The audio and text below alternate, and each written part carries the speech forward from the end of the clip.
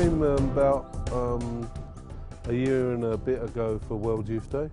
So I was here for five weeks then and uh, I was very blessed. I really enjoyed it. I had a great time. I found that um, the people were very friendly and very caring and just had a very blessed time. When I did one of the talks, it's probably the biggest talk I ever gave. I think I was speaking to about one and a half, sorry, about 170 odd thousand. Um, the first talk, which was at um, Darling Harbour. And as I was walking up, I said to Jesus, Is this what you created me for? And I felt him say to me, The only thing I created you for was for me to love you. And I, I, I found it quite hard doing the talk because I was crying so much. But um, it was just a real blessing for me. And then the next day I spoke at um, the racecourse, and uh, I think there was about 400,000 young people there.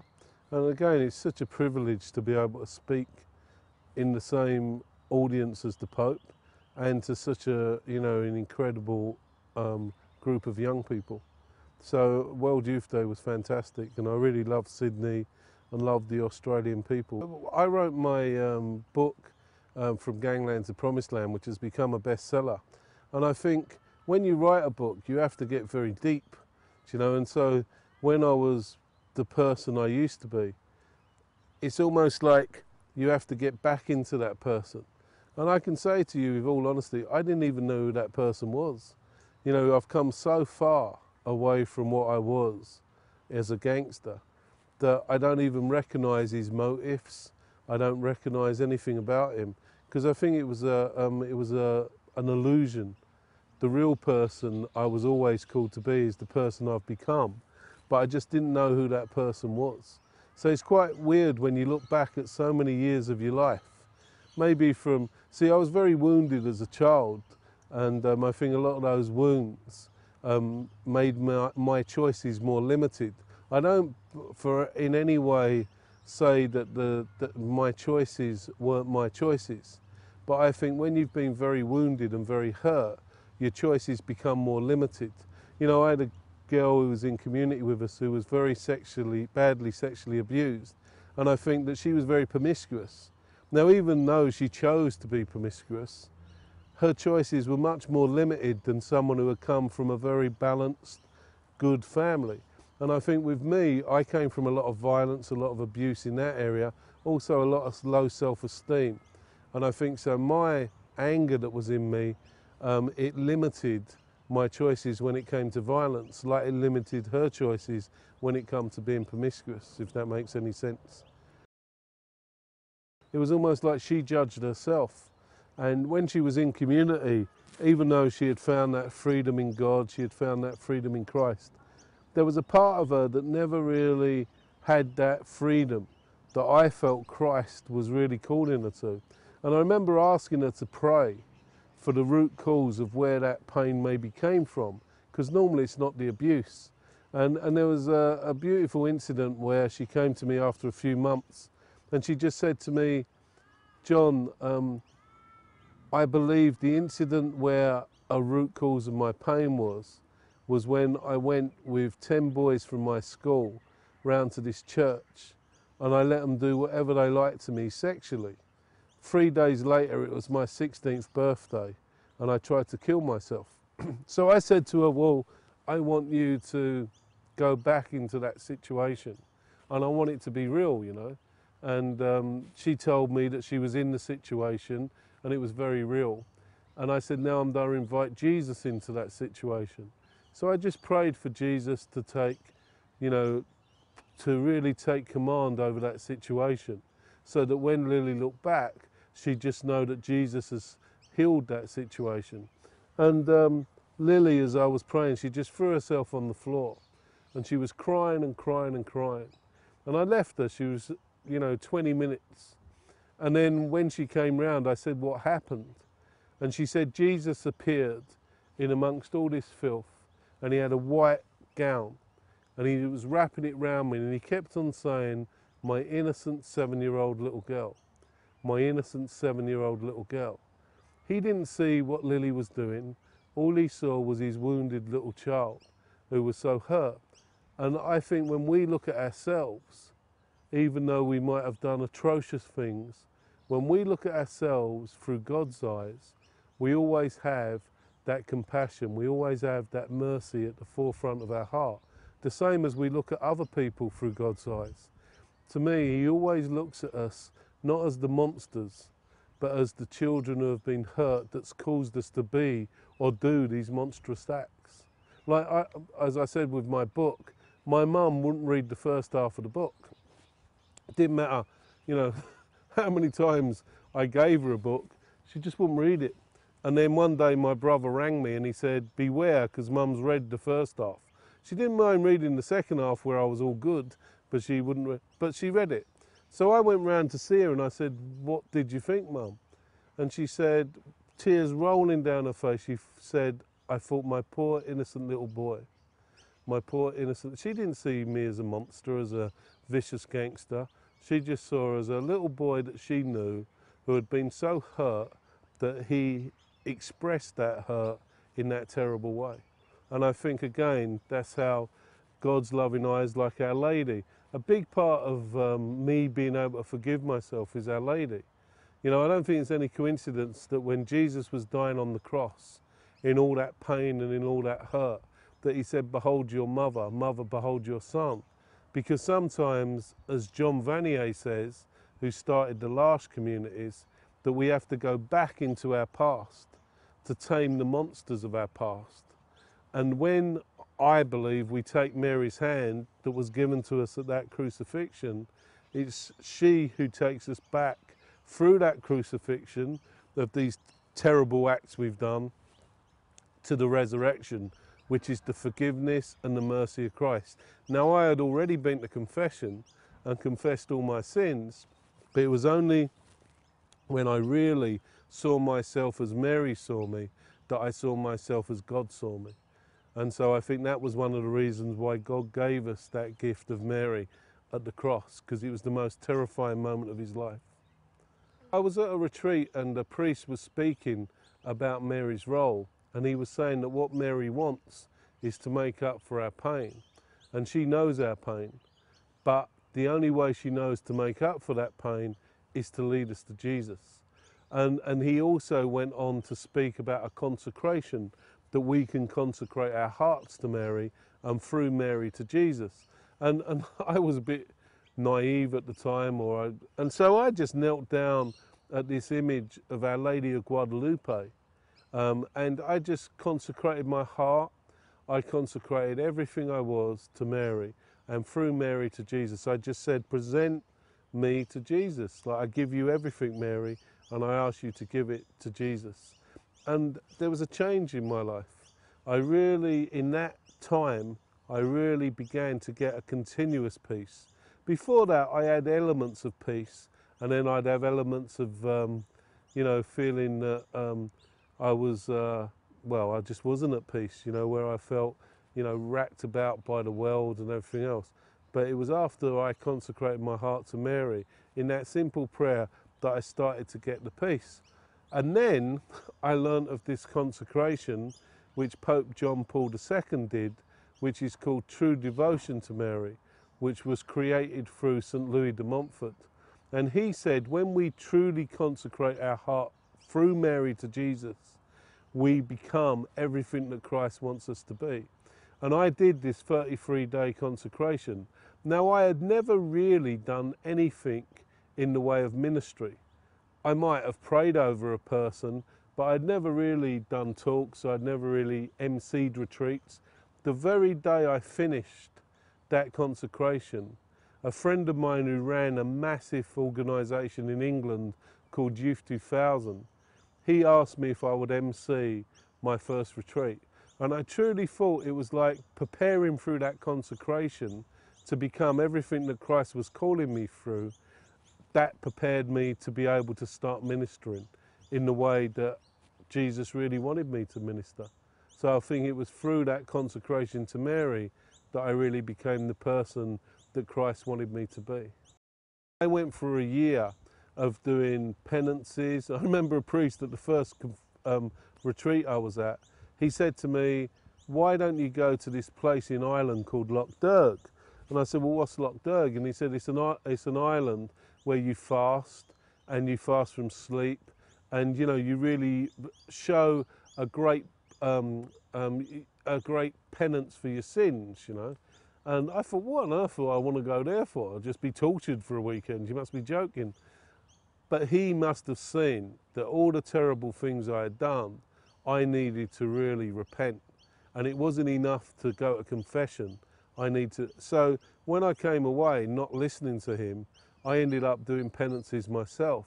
And you know, I'd walk for miles barefoot, um, cutting my feet to shreds.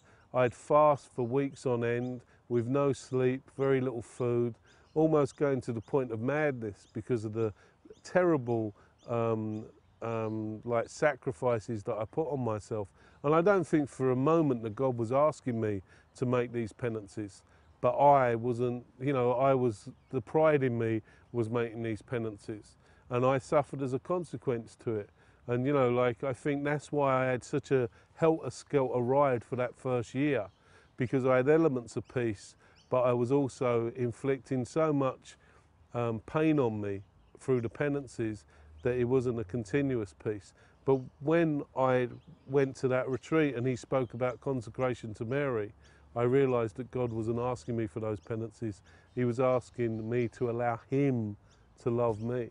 You know, I, I had a bit of a breakdown when I went through those penances.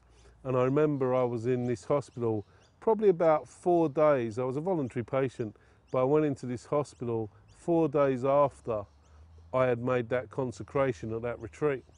And um, this man walked over to me, beautiful man, John King. He just used to walk around with a Bible. Everyone said that he was mad, but to me, he was like an angel to me. And he sat down opposite me and he said, You think you're God? And I said, No, no, I don't think I'm God. And he said, You do, you think you're God. And I said, I don't. He said, You do, because why do you judge yourself? He said, God is the judge, and he's much more merciful to you than you are to you. I felt the Holy Spirit go right the way through me. And I realized God hadn't abandoned me. I was abandoning God because I wouldn't forgive myself. And I walked up to this doctor and I said, I'm a voluntary patient, aren't I? I can do what I like. He said, Yeah. I said, Well, I'm going to Mass. And that was the end of any sort of um, me feeling disowned by God. And, and that was the peace where I started really receiving the peace. I thought, I'm never judging myself again. I say I'm sorry when I've done something, when I've committed a sin. I go to confession, but I am never judging. God's the judge, and I allow Him to judge me. And as I said, uh, you know, to me, when we see ourselves through God's eyes, we're never condemned. We're always encouraged. Even though I couldn't be more sorry, for what I had done to that man. I think Jesus knew through the penances, through the prison would have meant nothing compared to what I did to myself. And again, I don't think God was asking me to do it, but he knew my heart and he knew how sorry I was. Like, you know, everything in my life was based on sin. So even coming from that the first retreat where I knew the love of Christ for me, I had been to confession, I had had an incredible miracle with the Eucharist everything in my life was based on sin. So it's very difficult to me to come from that environment back to my lifestyle. And I remember I started doing um, building work. I'd never done a day's work in my life, really.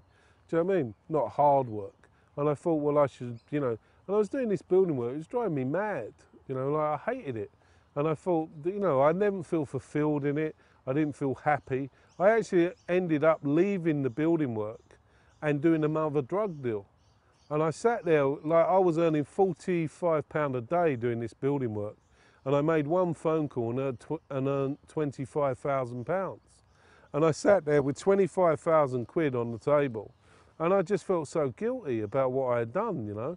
And I ended up sticking it in an envelope and putting it through the letterbox of Oxfam so I hope the person who came in the next morning was honest, or else he just wandered off with 25 grand. But anyway, and then I went to confession, and I, you know, I confessed. And my mum, God bless my mum, I went round to see her after this confession. I said, "Look, mum, I've jacked in that job of building, and I don't know what to do." And she said, "Do some voluntary work." She said, "Give, do some voluntary work." She said, That'll fulfill your heart. Well, it was like God speaking because I started doing work with the disabled, taking them to, you know, I was driving a minibus, I was driving um, blind people to their club, I was cooking for the elderly, I was in the St Vincent de Paul, I was working in the youth club, I was working 16 hours a day. And I had never had so much joy in my heart. And, and to me, it was that that I think really led me to that peace because I started really giving and giving until it hurts, you know. And I think at first it was payback. It wasn't a freedom in giving. I, I actually thought that you had to pay back God for his generosity in saving you and, you know, dying for you. But then I realised that it wasn't that I had to pay back, it was that I wanted to pay back because his love was so much in my heart that to respond to that love was a gift. It wasn't you know, you didn't have to do it. And so it became a freedom in giving, which was even more blessed.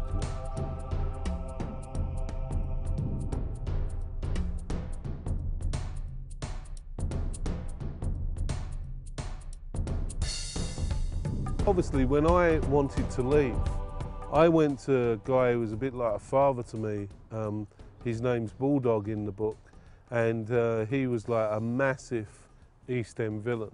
And I said to him, look, I found God and I want out.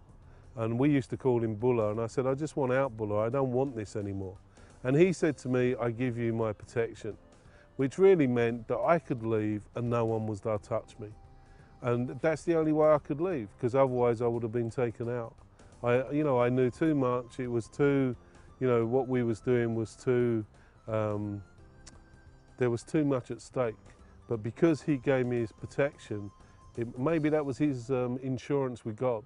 If there was a God, well, at least I let your uh, the guy who found you go, you know. And Buller, he started praying towards the end of his life, thank God, you know, through my witness and through me visiting him. So, and he had a bit of a change. So. I was going to ask you about that. So he's, he's not alive anymore. No, he died of brain cancer, but um, towards the end of his life, he was praying the Divine Mercy. So it was uh, quite a massive change in his life. He gave up um, the crime to look after his wife who had had a stroke. And during that time, he, he really found, a, um, a, I think, a depth of God and for his uh, love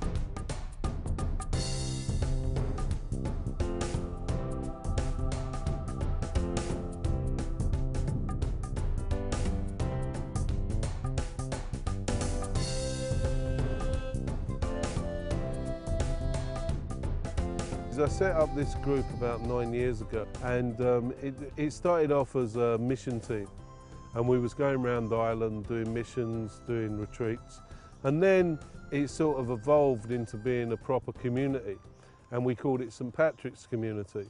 Now when we first started we made one year commitments and the three promises we made in that one year was we were celibate, we wouldn't have girlfriends and for the girls who were in the community, because it's a mixed community, they wouldn't have boyfriends. So we could be pu purely um, focused on the work and we wouldn't have any distractions. And the second commitment we made is we lived off God's providence. So we never charged for anything we did and we couldn't receive payment for what we did.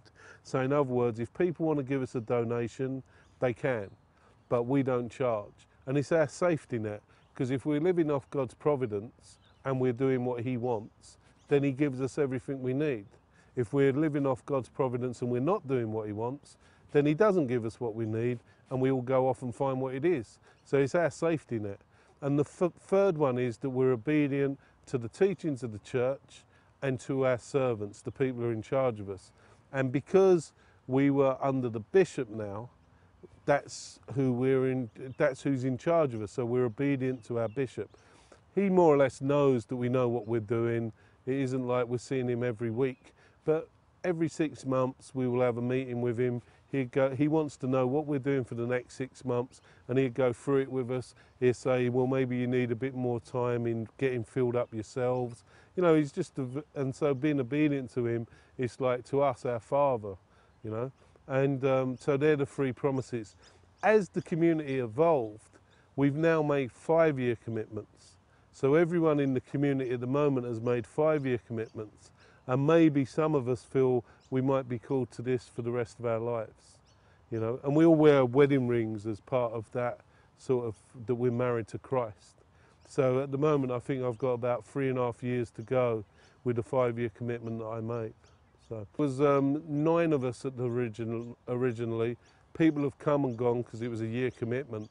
But a year and a half ago, I think there was about eight people in community then. But because we wanted to make five-year commitments, some of the people didn't feel they could make five-year commitments. And, you know, that's fine. And if people come, for the first two years, they could only make one-year commitments anyway.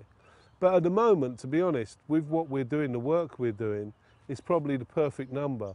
We would need another five because we, then we could have two mission teams going. But five is probably a good number for the mission team, the, the missions we're doing. So God knows what we need. One um, guy, Neil, he was um, a football, he was into football violence in England and he had, um, he was brought up as a Catholic, left the church, became quite involved in football violence, drugs, drink, and then came back with an amazing conversion through um, confession and through the sacraments. Um, Breeder, she's never been far away from the church. She was bullied as a kid, which added to a bit of her pain, but she's never been too far away. She's always been close to God. So when she speaks, you know, it's a different group of people who she's um, reaching and ministering to. Catherine, she was a nurse by profession. She was very badly um, um, criticised as a child, and so that added to her pain, you know.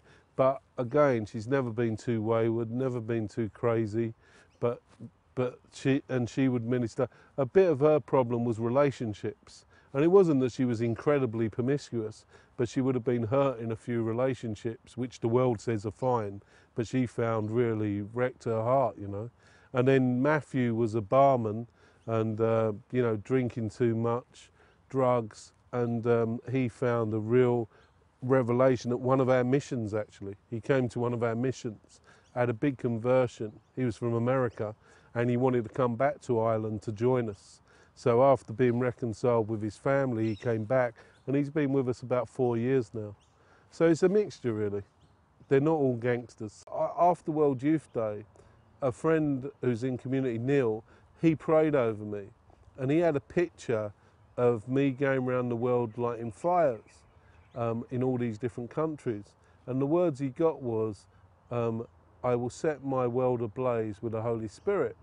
And then all these invitations started piling in for me to go to different countries. So we discerned as a community that it was right for me to go to these different engagements. So in the last um, year, well, in the last eight months, I would have been to well over 20 different countries. And, and to me, that's part of the grace of being open to what God's calling. And why that's happened, that they've still been doing a lot of parish missions. And so the beauty is that now they're having to use more gifts. Because whereas before I was doing a lot of the talks, they've had to step in and do talks. They've had to take on more responsibility. And I think, again, it's the Holy Spirit developing gifts and qualifying them in what He's called them to. And so it, it's very beautiful. But like I say, when I do go back, I'm just one of the community and we're living and we're praying together. So uh, it, it's been a real blessing from God, me travelling and the community still carrying on, you know.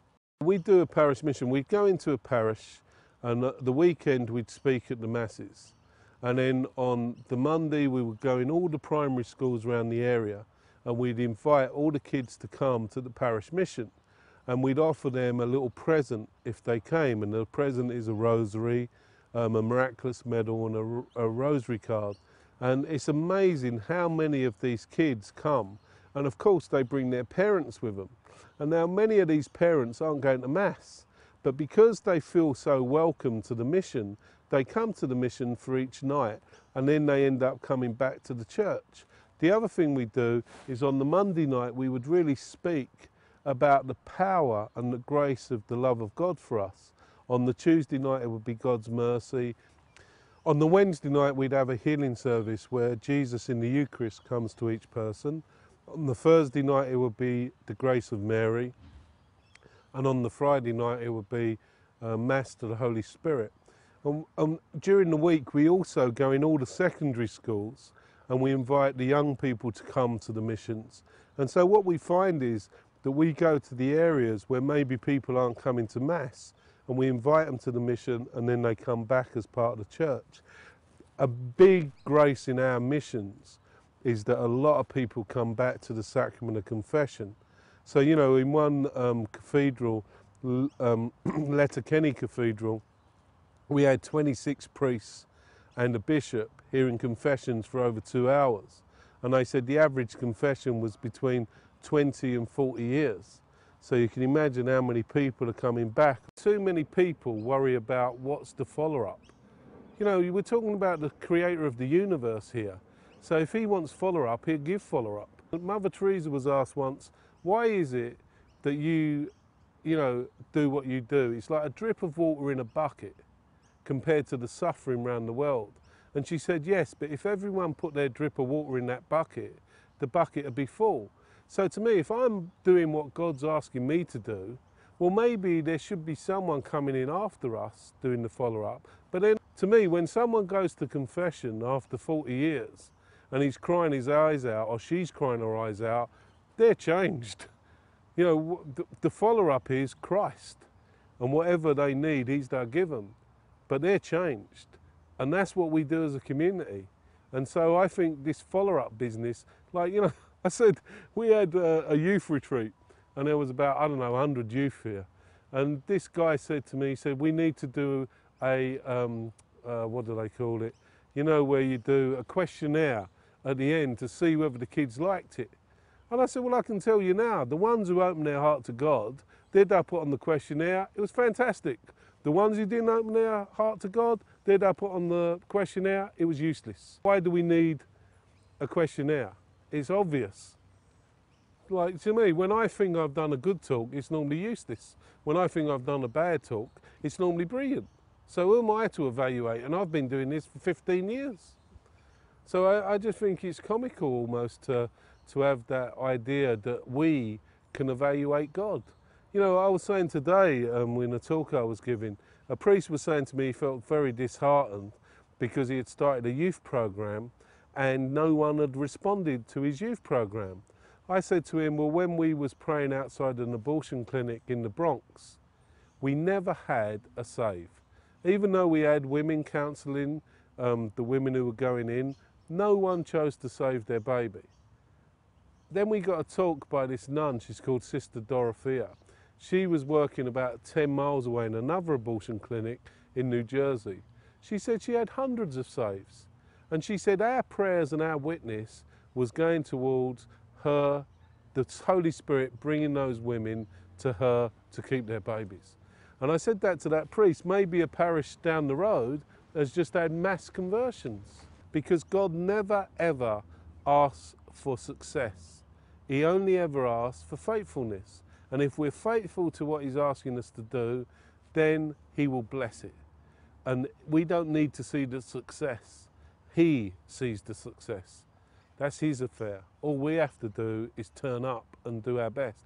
You know, I was walking around to a school and there was 200 boys at this school and it was a rough school. And Neil, who's in community with me, he said he was obviously a bit nervous because there's 200 boys and they're all rough, you know. And he said, what do you think the days they'll be like? And I said, well, it's either they'll be the greatest miracle on earth or it's they'll be the biggest disaster on earth. But if it's the greatest miracle on earth, it's God's miracle. If it's the greatest disaster on earth, it's God's disaster. Because all I'm doing is turning up and doing my best. And it's not my control, it's God who's in control. And the more we let go and we let God, the more I see the miracles happen. And Neil said it truly changed his life, that statement. Because after that, he knew it didn't depend on him, it depended on God. And that's our freedom, isn't it? You know, we can just do our best. If it's a complete and utter misery, and you know, sometimes it has been. I've gone in schools and it's pandemonium. And I say, well, God, I'm just here. You want to create miracles, you do it. But I'm just doing my best. I mean, other times you see the kids crying their eyes out. You know, the Holy Spirit descends and they're opening their hearts. They're walking up the front and giving themselves to Christ. But it's His glory, it's not mine. And it's his failure, it's not mine. I mean, I don't think God fails. I think God just does what he likes. St. John Bosco said, the more a kid screams at us, the more he's saying, please love me. And I think for me that um, I've worked with a lot of very broken kids. Like one boy I worked with, Stuart, he had suffered every bit of abuse it was possible to suffer. And I remember saying to him um, on one occasion, he had a big conversion and sort of found uh, Christ.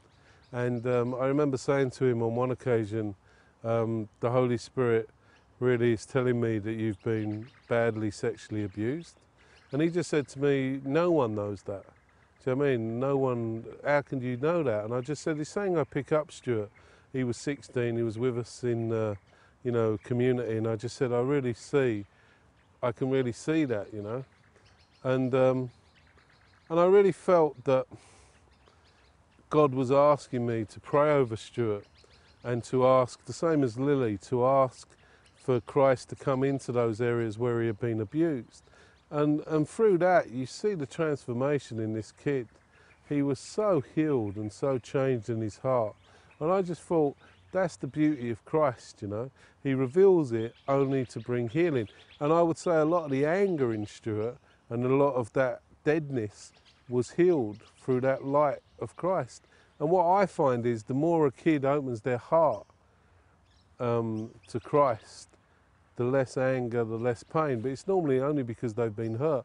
In my own life, I was so, um, the shutters were up. I wouldn't let anyone in because I was so hurt as a kid. So I think I understand it quite well because I was it, you know.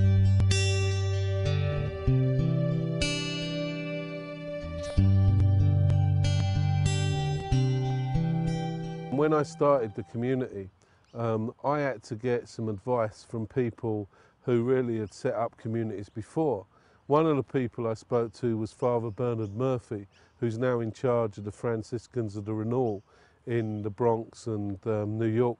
And I asked him about community, and having led a community before he even took over as leader as the Franciscans, he said to me, make sure your charism is right. Make sure that you clearly identify what your charism is and then keep that charism. Now, our charism is evangelization. We never change, we never alter, it's evangelization.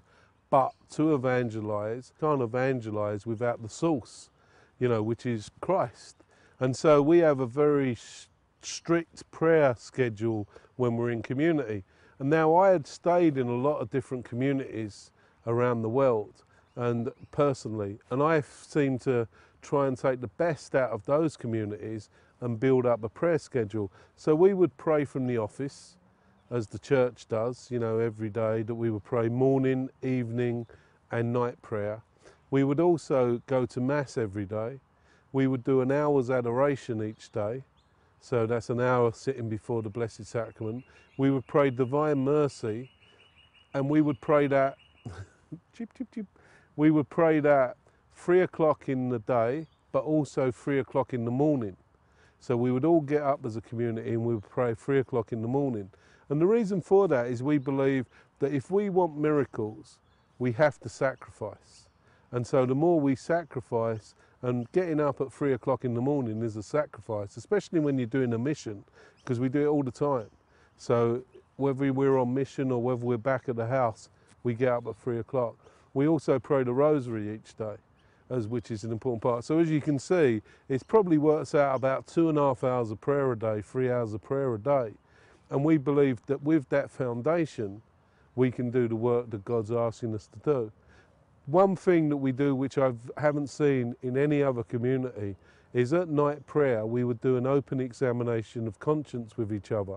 So we would apologise to each other for what we've done wrong during the day. And we find that's where we can love each other the most by being so open and so real. We also make the commitment that we will go to confession once a week.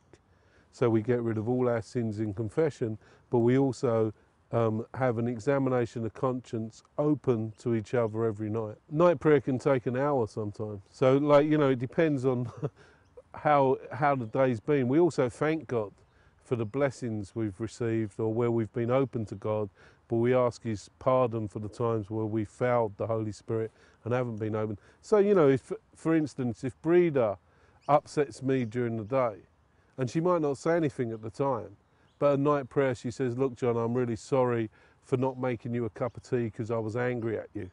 It's amazing how much, because I think she hasn't even noticed, but she has noticed, and vice versa. If I've lost my temper with Catherine and just got a bit like sharp with her, at night prayer I say, I'm very sorry, Catherine, for, you know, getting sharp with you and not loving you the way I should.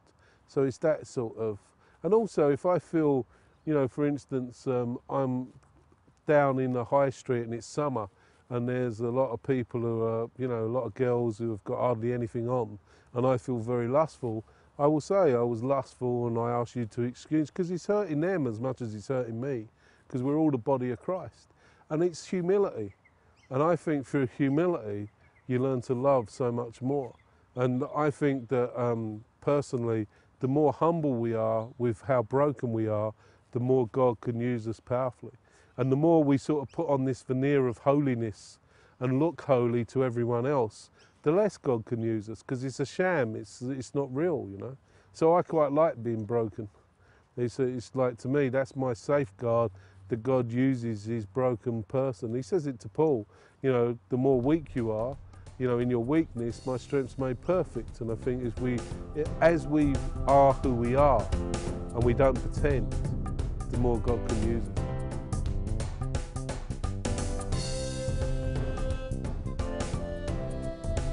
So for the last 17 years, I've had spiritual direction. And everyone in community has got their own spiritual director. And I think it's absolutely crucial for us people who are trying to minister to God to have spiritual direction from someone like a priest or someone who is someone to, responsible and someone very um, close to God and has lived that sort of walk with God so that they can share that walk with us. So I really emphasise that we should all have spiritual direction of some form. This last priest has been my spiritual director for probably about five years. But see, because I travel a lot, I tend to have a few scattered about. And so there's priests I can call on in England, there's priests I can call on in America, there's priests I can call on in Ireland. But I have one main spiritual director as well, Father Jim Finn, who's a powerhouse. Do you know what I mean? He's helped me so much. So.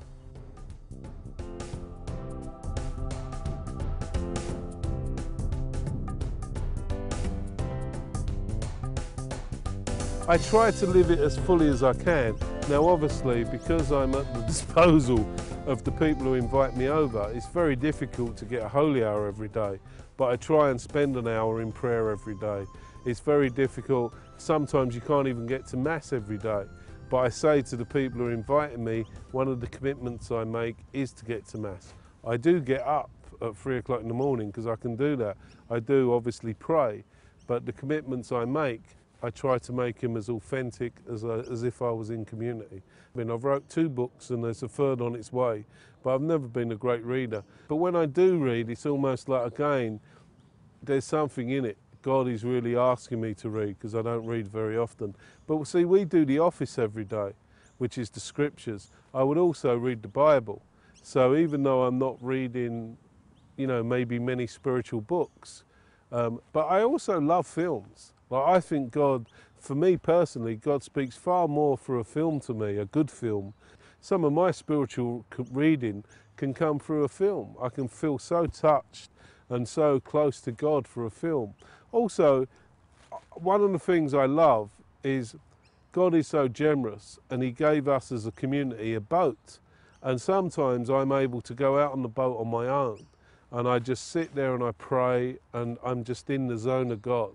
And to me, there's more spiritual grace in that for me than anywhere else on the earth because I just feel so close to God and nature and the wonder of God.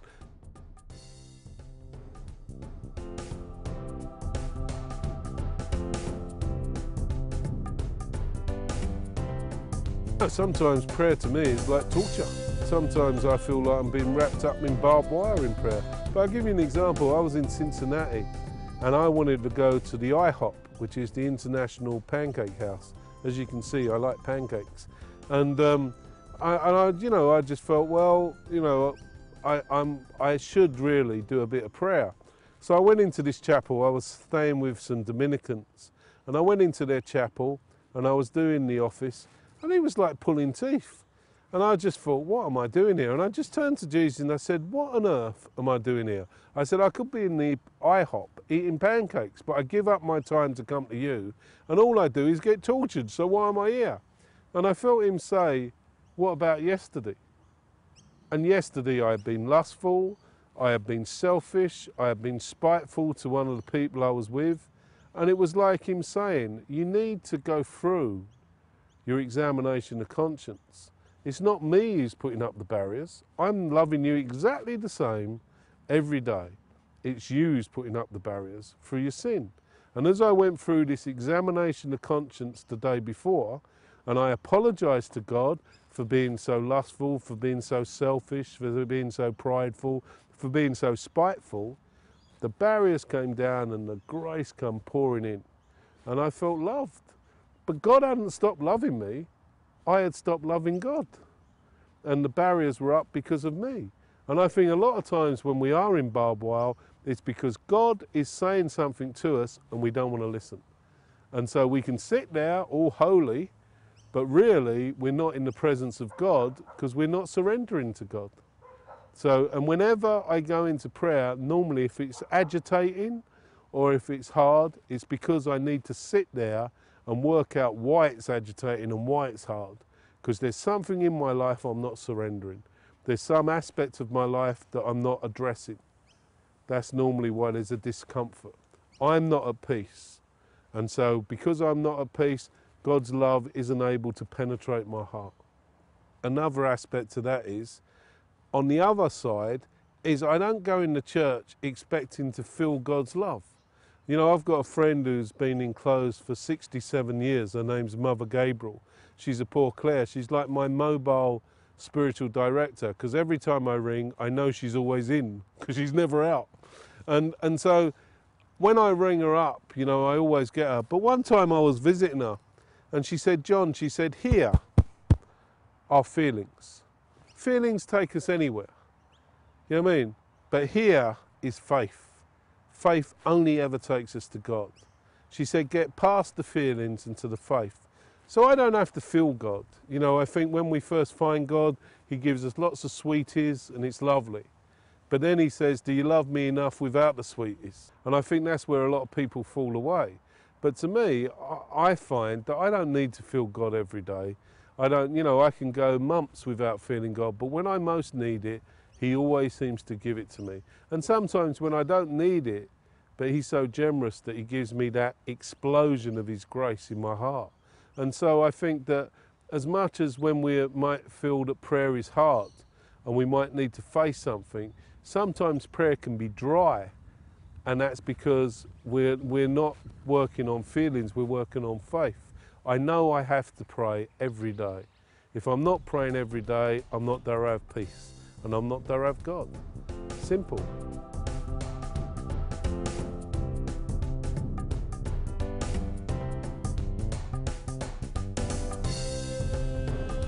Sometimes I just sit in silence. Sometimes uh, to get in that zone where I feel that I'm quiet in my spirit, I might need to pray a rosary. Sometimes I might need to just um, repeat the name of Jesus. Do you know what I mean? In my heart. But I just think to get in that stillness, sometimes I pray in tongues. You know, I think us as a community, I forgot to say that earlier, but us as a community, we would have all been baptized in the Spirit.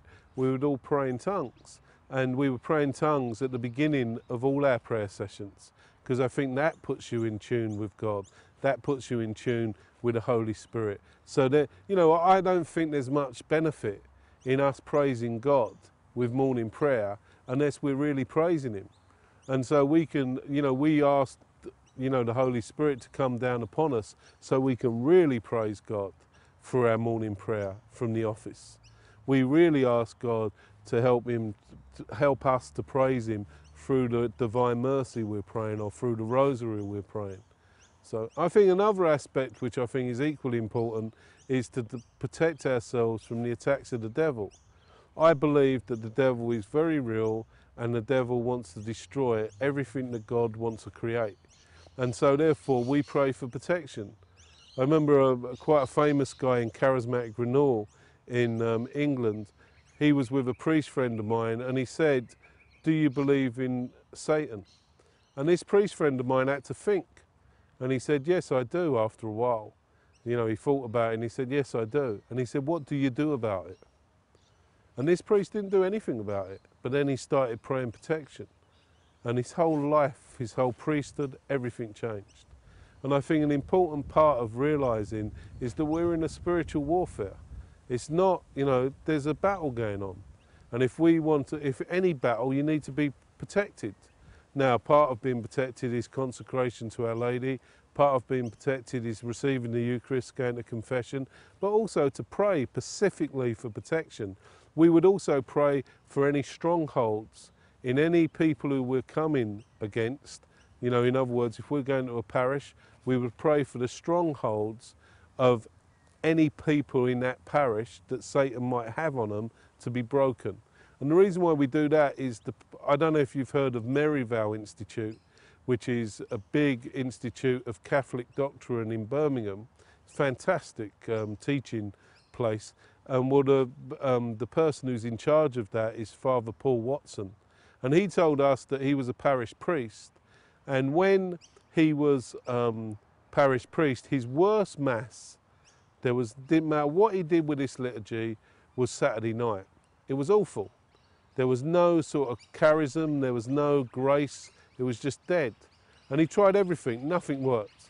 So he prayed to the Holy Spirit and he fasted and eventually he got this message which he felt was from God to pray specifically for the strongholds in these people to be broken. So he prayed for two weeks. He said at the end of that two weeks, that was the most vibrant out of all his masses. And when I heard that story, I thought whenever we go into school, whenever we go into a parish, we pray for the strongholds to be broken because the devil has a lot of strongholds. And I think in ourselves as well, we pray for protection on ourselves.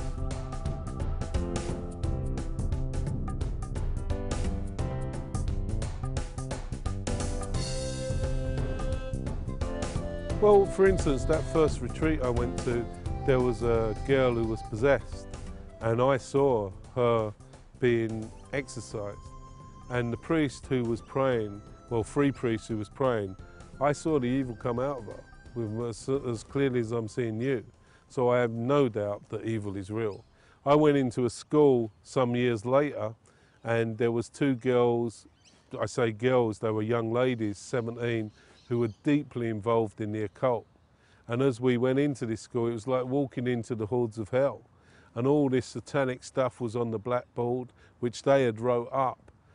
My friend who had just come back from Mexico, where she had done a lot of this stuff with um, Satanist groups and witchcraft groups, she had rubbed off all the stuff on the blackboard and she had put rejoice for the lion of Judah had conquered. And you just felt this wave of grace that just took over in this school. But I have no doubt, and at the end of this talk that I gave, these two girls walked up and said, Why is the Catholic Church the true church? And I said, How long have you been involved in the occult? And one of them burst out crying and said, I told you it was dangerous. And they asked where they could go to be helped. And I told them about a priest I knew who would help them. But to me, I have no doubt that evil is real. I've worked in Glastonbury, which is the centre of the occult in England. You know, we did a Eucharistic procession and a retreat five years on the trot. We had witches and Satanist groups actually coming out in their full regalia, cursing us in the streets as we did a Eucharistic procession. There's black mass kits openly in the window. It's not a joke, it's real. And you know, it's not something I go on about, but it is something that we need to be aware of. And people who don't believe in Satan, well, to me, they're not really serving God. Because if they're not see, seeing it as a battle, if they're not really seeing that there's a good and an evil taking place, well, where are they? It's in cuckoo land. Christ speaks very clearly about Satan. With no uncertain terms, he speaks very clearly about hell. So I think we're very naive when we think everyone is on a nice little journey through the daffodils and we're all ending up in this euphoria of heaven. It's a joke. You know, we have to, we don't obtain heaven. It's a gift from God. And we have to be open to that gift. I didn't know those two girls except by the Holy Spirit telling me who they were. They were small fry in a big organisation, which was a coven. So, but both of them, thank God, came out of that coven, and both of them, I felt it was like us reclaiming that school because they had had a massive effect on this school in Liverpool, massive.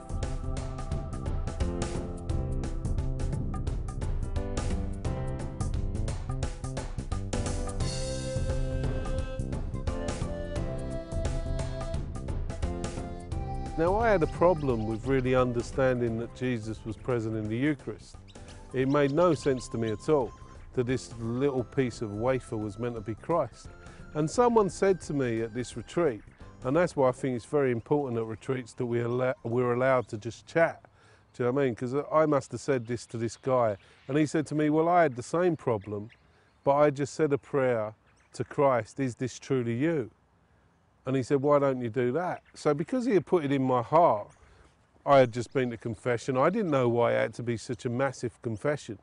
So I kneel down and I just say, Okay, Lord, if this is you, show me. Well, as I received Jesus, the only way I can describe it to you is every good feeling I ever had in my life was magnified a billion times. It was like the euphoria, the wonder, the completion of Christ in my heart. And it lasted you know, a very short space of time. But in that short space of time, I knew that Jesus was truly present in the Eucharist. I knew the teachings of the church were completely and utterly true. I had no, it was like a, um, uh, an infused knowledge in my heart that the one true church was the Catholic Church because they had Christ, and that was where he decided to dwell in the Catholic Church. Does that make sense? So, in other words, that you know, out of all the churches on earth, there's only one church that has the fullness of Christ, body, blood, soul, and divinity, and that was the Catholic Church. And that was the church where he decided to dwell. So I knew this was the authentic church, and that every teaching in that church was the authentic teaching of Christ. I had no doubt, no doubt, no problem. Like it was like my whole being new. I knew I'd be a Catholic till the day I died. I had no doubt. I've never had a doubt in the Catholic Church since that moment because no one can teach you that. I can't get it out of a book. I can't get it out of studying at Campion for a year. I can only get it from the Holy Spirit. The real infusion of the Holy Spirit only comes from God. And he obviously knew what he wanted me to be. That's why I was baptized a Catholic.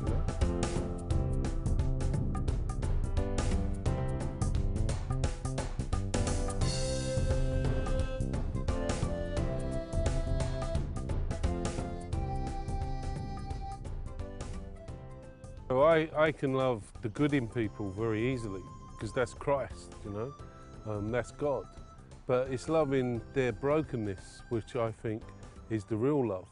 You know, I think Jean Vanier says that, you know, it's one thing getting married and holding hands for the first three years, but when you're sitting opposite your wife at the breakfast table and you realise that she isn't the perfect woman and that she's got warts and all, it's loving the warts where the marriage starts and her loving your warts. In other words, that you see the monsters in each other and you're willing to love and accept those monsters. And I'll be honest with you, I love each member of community immensely. And the way I love them is through their brokenness, through the woundedness, through their childhood. You know, I see the traits that come out in, say, Neil, where he was wounded and rejected as a child by his parents. And so some of those traits are in his brokenness. So not only can I love him, I can have compassion where he needs the compassion, but also I can challenge him where he needs the challenge.